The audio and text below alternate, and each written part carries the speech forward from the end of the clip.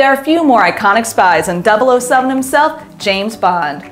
But there's a saying in England, where there's smoke, there's a Bond girl. And what's a Bond girl without a feisty car? While there are many classic cars associated with Bond girls, like the Toyota 2000 GT with Japanese Secret Service agent Aki behind the wheel and 1967's You Only Live Twice, and the Mercury Cougar whipped by Diana Rigg in 1969's On Her Majesty's Secret Service, things are changing in the 2020s and so are the vehicles.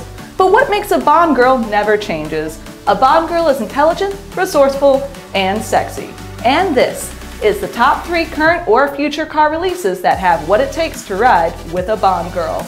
Number three, the 2021 Ford Bronco. Released in small numbers in mid-July 2021, this model of the retro SUV has available 35-inch tires, a broad range of off-road modes for all types of terrain, and a new advanced 4x4 system. This 4x4 system can keep novices under control while allowing pros of rough terrain to bash out. We call this model the Wai Lin. Number 2. The Chevrolet Corvette Z06. Highly anticipated but pushed back to 2023, thanks quarantine. This car will deliver more than 600 horsepower on wider tires, bigger brakes, and a newly tuned suspension. World-class design delivering a balanced performance. This is the Tiffany Case. And our number one, the Tesla Roadster. Unveiled in 2017, Elon Musk hopes to ship this all-electric battery-powered four-seater all-wheel drive sports car in 2023.